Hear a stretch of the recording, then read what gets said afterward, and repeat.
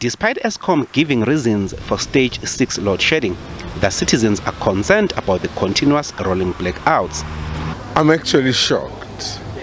And the expression I can give you is my eyes. Because I, I guess we could have avoided this. Uh, issues around labor disputes, when we are aware that we are struggling with power at the moment. Should we point fingers? Government. Wherever government put their hand in, there's disasters, there's struggles, there's curfews, there's labor, labor related issues. The production capability in various industries uh, is being affected.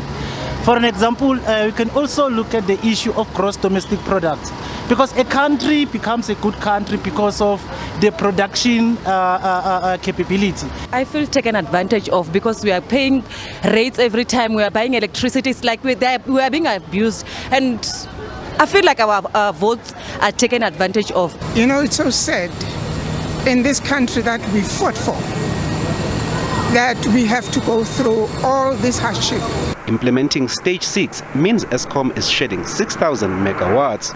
Energy experts are saying stage 6 load shedding is an indication that Eskom has lost over 40% of its generating capacity.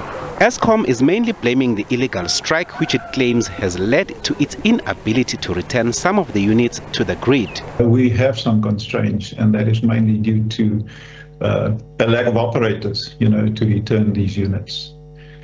Now, one additional unit uh, at Matla Power Station, which previously out on service due to a breakdown, is then also expected to return to service today. But once again, this is dependent on operating staff availability.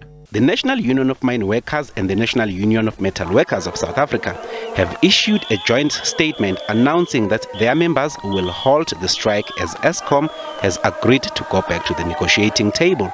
Willem Senim Tierne, SAPC News, Johannesburg.